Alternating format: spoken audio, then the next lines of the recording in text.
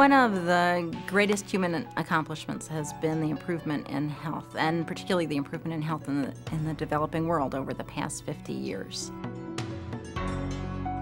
What we tried to do in this project is take a good, hard look at the successful, large-scale health programs of the past, really understand why they worked, and draw out of those some common elements that could be used in the future to design and implement big, scaled up health programs. There were six common threads across these 17 really large scale and impressive successes that uh, we, we document in the book. Secure funding was definitely one of them. The role of political champions has been incredibly important. The technology was there. Program management of any program is crucial. It's critical to have a technical consensus. The use of information was critical. How did we succeed in the past? And what have we been able to accomplish in terms of improving health conditions? We looked at cases that came from every geographic region of the world, a broad range of types of places and a very broad range of types of programs.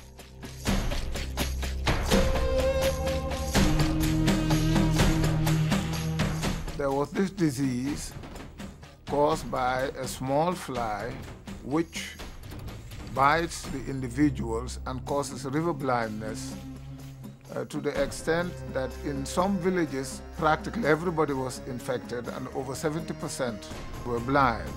And we put heads together and worked very hard. And by 1982-83, we had over seven pesticides. But that was not enough. We needed a drug to treat patients who were already ill.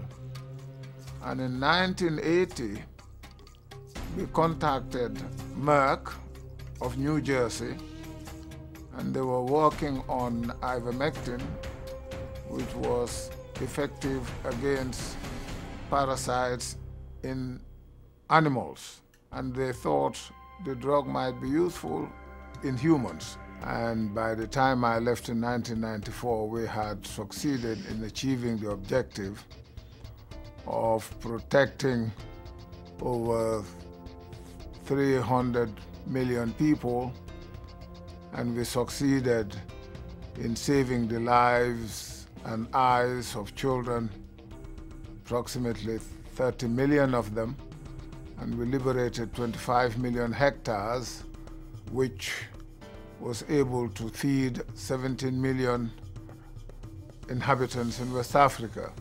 Merck has given over $1 billion worth of drugs free of charge, the first of its kind. In 1988, virtually every country in the world was endemic for polio.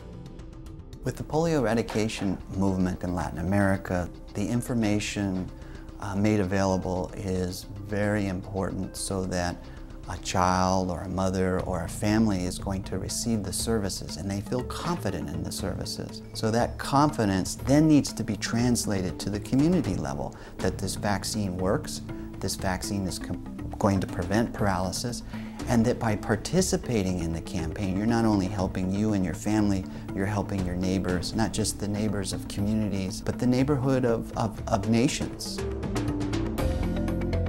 In Latin America, we were very fortunate to have a partnership that sustained the funding to execute the necessary strategies. Those strategies including these mass vaccination campaigns targeting every child in a country less than five years of age. The success of the polio eradication initiative in Latin America, I think, was remarkable because it was able to demonstrate to the rest of the world that that was possible. It was a success story that could be used to help galvanize more support at the global level. We are talking about the oral rehydration program that an NGO in Bangladesh called BRAC carried out in the 1980s. In that time, diarrhea was a major killer of children in the country. Thousands of people used to die from diarrheal dehydration.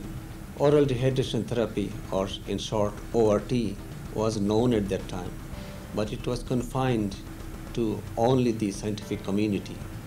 The ordinary people in Bangladesh, the villagers, the village mothers, didn't know about it. They didn't have any, any idea about it. BRAC decided to bring the fruits of this discovery, the oral dehydration therapy, to every mothers in Bangladesh. And in the 1980s, they carried out a program which reached every households in the country. At that time, uh, safe water was not available to many households. Oral dehydration solution with dirty water is even better than no water. And we asked the mothers to use the solution uh, not with safe water uh, if it is not available, but, but with drinking water. The dramatic reduction of childhood mortality that has happened over the years is said to be much due to the decade-long effort that BRAC has done in the 1990s.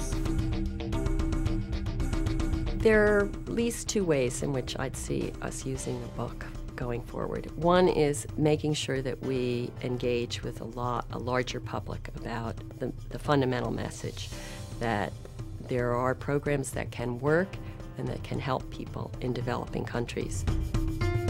The second is to convey through the book what are the ingredients that help make those programs work. Those include the notion that you have to have a consensus, the reality that in many settings it is possible to see the public sector and a major bureaucracy working. It's happened in the past. That means it can happen in the future. Not just big success, but success that's changed the lives of millions of people.